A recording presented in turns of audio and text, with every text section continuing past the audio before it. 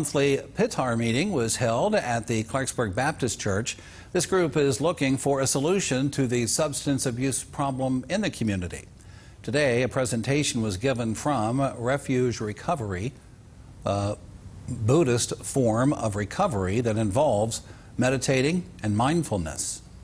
Know, we're trying to meet people where they are. We're trying to offer all kinds of solutions. We're trying to solve the problems we have of addiction by throwing everything at them, including the kitchen sink. And so, so this is just another facet. A peer recovery coach training also took place at the church today.